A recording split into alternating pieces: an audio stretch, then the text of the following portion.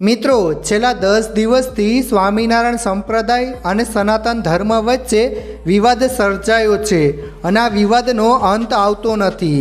જો આવું ચાલતું રહ્યું, તો એ દિવસ દૂર નથી જ્યારે આ બંને સંસ્થાઓ વચ્ચે મહાયુદ્ધ થશે. જી હા, મિત્રો સાળંગપુરના ભીત ચિત્રો હટાવ્યા બાદ પણ વિવાદ યથાવત છે. આજે સુરેન્દ્રનગરના લીંબડી ખાતે સંતોનું મહાસંમેલન યોજાઈ રહ્યું છે, જેમાં ભીત ચિત્રો હટાવ્યા બાદ પણ સનાતની સાધુઓમાં સ્વામિનારાયણ સંપ્રદાય પ્રત્યે રોષ જોવા મળી રહ્યો છે.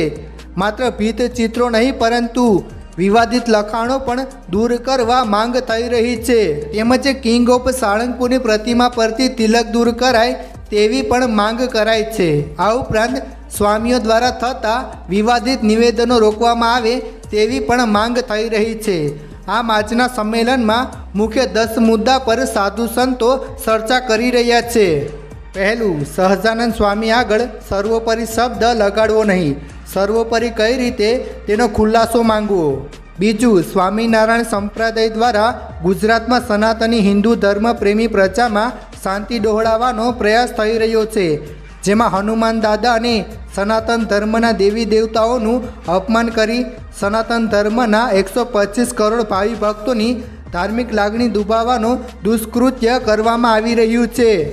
ત્રીજું, સ્વામિનારાયણ સંપ્રદાયના સંતો અને ભક્તો સહજાનંદ સ્વામીને પોતાના ઈષ્ટદેવ માનતા હોય તો સ્વામિનારાયણ મંદિરમાં કોઈપણ જગ્યાએ સનાતન ધર્મના દેવી દેવતાઓનું સ્થાપન ન કરવું જોઈએ.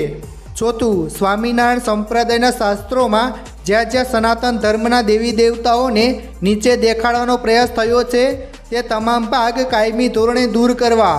પાંચમું, સનાતન ધર્મના દેવી દેવતાઓને જ્યાં જ્યાં નીચે દેખાડી સહજાનંદ સ્વામીને સર્વોપરી સિદ્ધ કરવાનો હીન પ્રયાસ થયો છે, તેવા ચિત્રો કે મૂર્તિઓ સ્વામિનારાયણ સંપ્રદાયના તમામ મંદિરોમાંથી દૂર કરવા.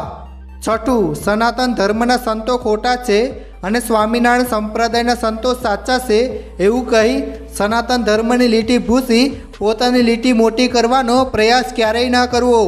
સાતમું, સનાતન ધર્મની જે જગ્યા સ્વામિનારાયણના સંતોએ કબજે કરેલ હોય તે જગ્યા ખાલી કરી સરકારને પરત કરવી અથવા સનાતન ધર્મની સંસ્થાને ચોંપવી આઠમું, સનાતન હિન્દુ દેવી દેવતાઓ પર સ્વામિનારાયણ સંપ્રદાયનું તિલક લગાડવું નહીં.